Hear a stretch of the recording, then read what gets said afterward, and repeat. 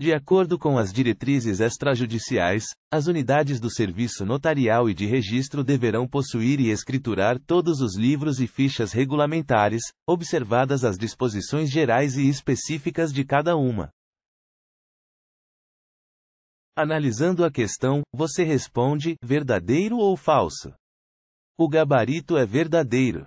Artigo 67. As unidades do serviço notarial e de registro deverão possuir e escriturar todos os livros e fichas regulamentares, observadas as disposições gerais e específicas de cada uma.